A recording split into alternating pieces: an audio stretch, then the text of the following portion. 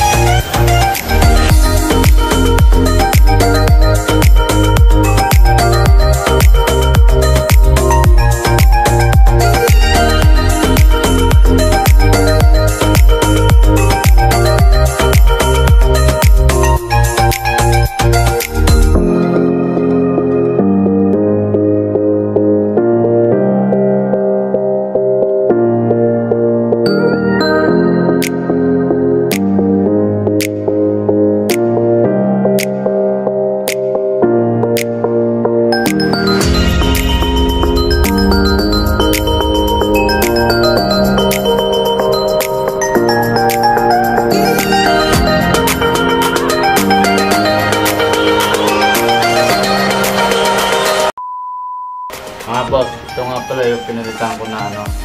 Ito yung original na sa ano, sa display kanan. Pinalitan ko lang siya ng plate para maging bagay dito sa kabila. So nagpa-machine shop ako para maging ma malagay ko dito. Papakita ko sa inyo. Akalasin natin. So,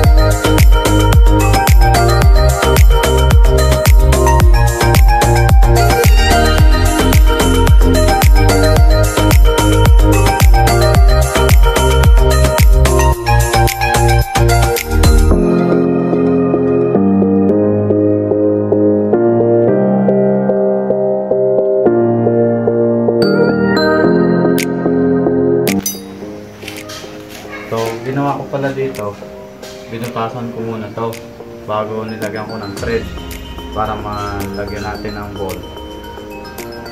Yan, ganyan. Ito, lima. Gaya dito sa kabila. Tinapat ko lang siya para pantay.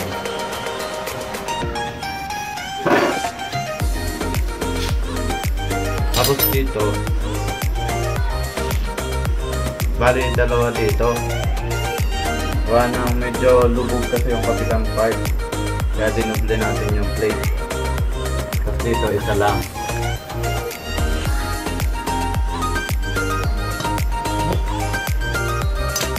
Ito, dalawa.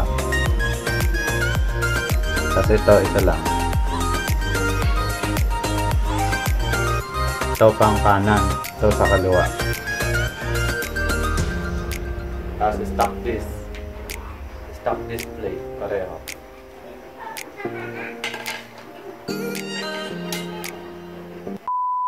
Mga boss, sa mga nagtatanong nga pala, inverted mono- shock ang ginamit ko ay modified brand. Gina ginawa ko lang siya na dual disc. Ito yung kabitan ng ito bracket ng caliper. Papakita ko sa inyo kung paano ko ginawa.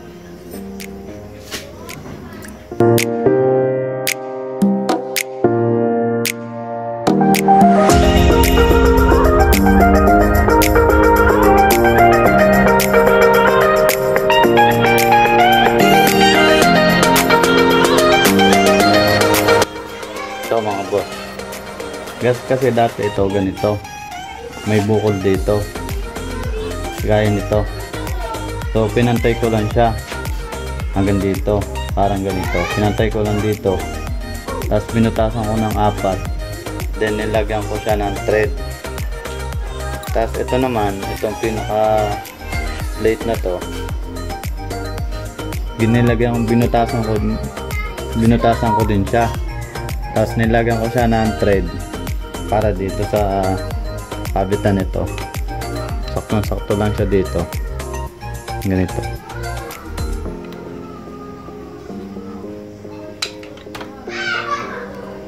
Tapos nilagyan ko din siya ng dito para saktuhan siya sa ano sa bilog nito.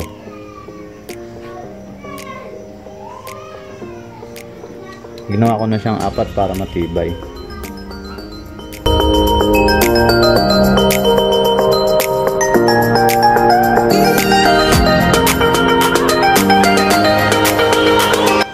Malambot lang naman butasan to. Saka madali lang lagyan ng thread. Pag gumawa kayo. Pero may nabibili naman na ano, inverted na ano na. Dual disc na talaga.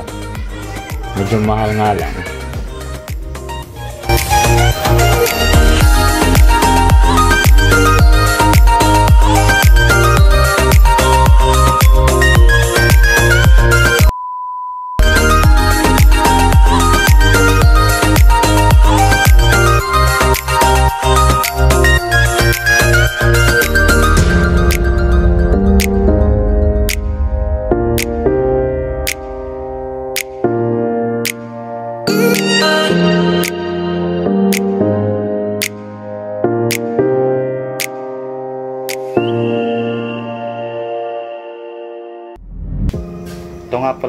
Caliper na to.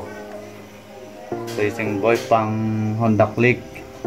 Kaya mapapansin nyo magkaiba siya ng ano ng tornilyoan dito. Dito at saka dito. Kasi ari pang pang sniper talaga. Ito pang Honda Click. Kasang inverted modified brand. Pero kinonvert ko lang sa dual disc. kabit lang natin. Meron nga pala siyang spacer din sa likod nito. Para lumabas ng konti itong caliper.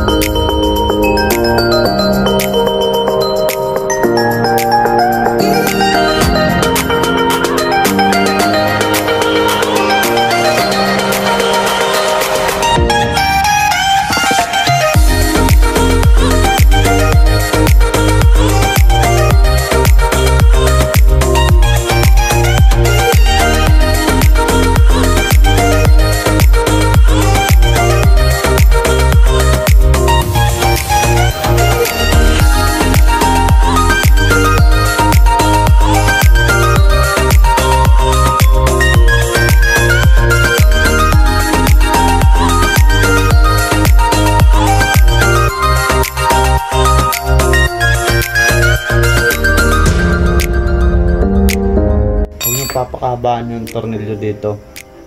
Gawa ng sasabit siya sa display ng ng pangkaliwa ng display. Kakabit na natin yung gulong.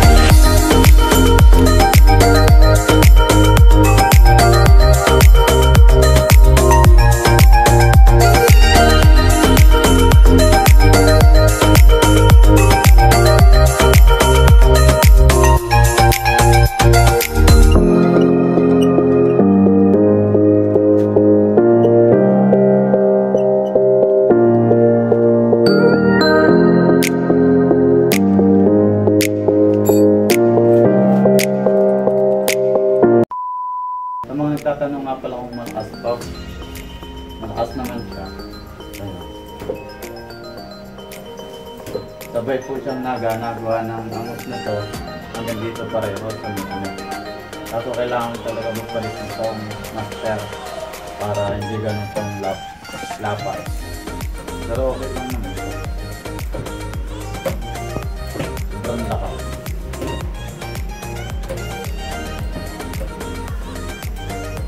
So yun mga boss, ang aking ginawang ano, dual base. Siguro mura lang yung ko dito. Gawa na ako na naman ng gumawa nung iba. Sa shop lang medyo mahal.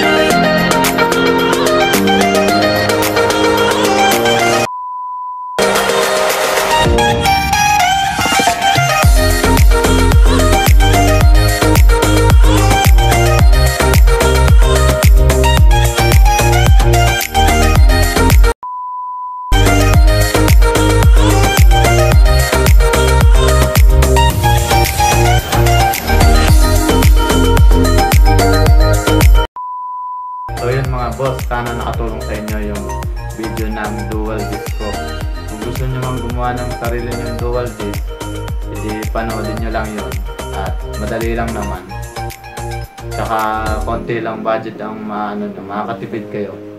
Kaysa bumili kayo ng bagong inverted na dual disc, medyo mahal nga lang yun. Pero nasa sa inyo naman pa, nasa inyo pa din kung anong gusto nyo. Pinahagi ko lang sa inyo yung aking nagawa. So, salamat sa inyong lahat at don't forget to subscribe and like and hit the notification bell para updated pa kayo sa mga video i-upload ko. Salamat sa inyo.